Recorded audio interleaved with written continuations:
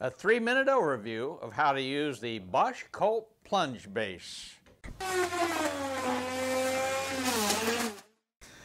The first step is to take this little micro adjuster right here and turn it so it's got a little gap here. In other words, we don't want that all the way up to the top. If we have it all the way top, then we won't be able to do a micro adjustment later.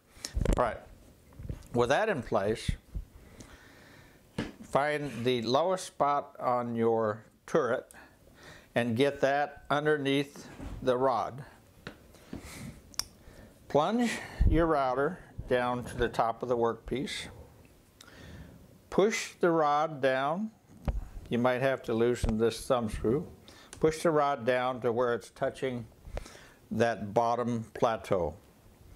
I would tighten it for a second so that you can move this plastic guide without moving the rod and line the plastic guide up with zero.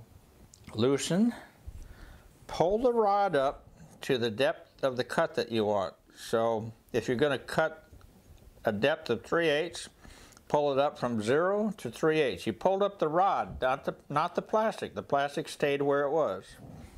Lock that in place. Raise it. Now you're ready to do your to do a cut. Now because we're on the lowest one, eh, that would be our our third eighth when we when we do a route there. If I turn it one, that would be our two eighths. If I turn it one more, that would be my one eighth plunge. That, I turn it on, I plunge it down till I hit that platform. I do my routing. I turn it off. I bring it up. You don't want to be trying to change this turret with this uh, router bit spinning right there by your fingers. Turn the turret to the next step down.